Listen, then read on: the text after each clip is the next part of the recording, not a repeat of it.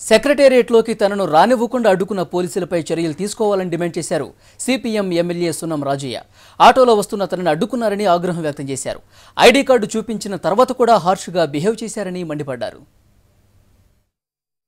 ముఖ్యమంత్రి గారి కార్యాలయంలో మన అదనపు కార్యదర్శిగా ఉన్నటువంటి భూపాల్ రెడ్డి గారిని కలవడానికి నేను ఒక బాంబు ప్లాస్ట్లో అంగవికలుడైనటువంటి కుర్రవాడి విషయం మాట్లాడటానికి ఆటోలో వస్తున్న క్రమంలో ఎంట్రన్స్ గేట్లో పోలీసులు అతి దౌర్జన్యంగా ఎమ్మెల్యే అంటే కారు ఉంటుంది కానీ అంగు ఆర్పాటు ఉంటుంది కానీ ఎమ్మెల్యే అంటే గ్యారంటీ ఏంటని చెప్పేసి నేను ఎమ్మెల్యేనని కార్డు చూపించిన.